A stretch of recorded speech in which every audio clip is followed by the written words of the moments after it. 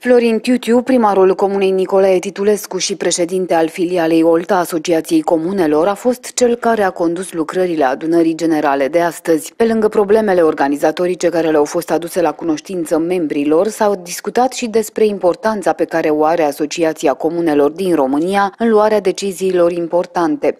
Reprezentanții ACOR sunt membri în Comitetul de Monitorizare a implementării programelor operaționale prin care se derulează fondurile nerambursabile ale Uniunii Europene. Asociația este inițiatorul procesului de identificare de soluții alternative de furnizare a unor servicii publice în zona rurală, reprezentarea intereselor membrilor la nivelul organismelor Uniunii Europene Președintele Asociației Comunelor din România, Emil Drăghici, le-a fost alături edililor olteni la întâlnirea de astăzi. El a explicat că filialele județene ale asociației au dreptul legal să angajeze specialiști în anumite domenii administrative care să ajute toate localitățile membre la gestionarea unor proiecte de dezvoltare. Toate activitățile pe care le dorim să le avem, le putem exercita prin cooperare la nivelul filialelor județene. Asta ce înseamnă?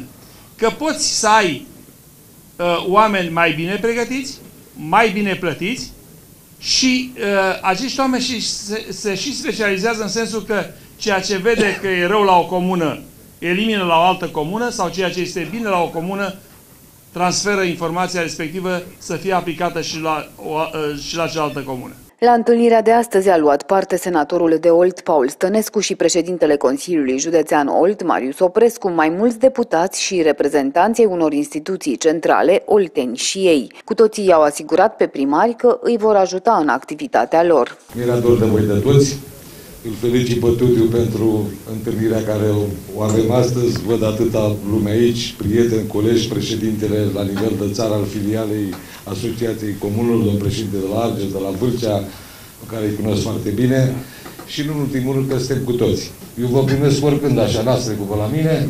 Eu vă aștept cu mult drag și cu multă plăcere cu orice problemă aveți și sper să le putem și rezolva, nu numai eu, dar și și colegii mei parlamentari. Pentru problemele noastre administrative, așa cum știți, mă găsiți la Consiliul Județean și vă stau la dispoziție 24 de ore din 24.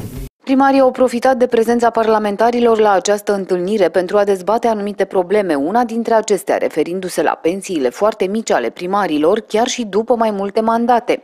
Sunt unul dintre pensionarii cu șase mandate de primar. Am 48 de ani vechime în muncă și am primit 13 milioane. Domnule președinte, domnule deputat, faceți legea adevărată acolo și pentru primarii care urmează după noi. Un uh, șef de post avea 30 de milioane și acum a ieșit cu 40 de milioane pensie.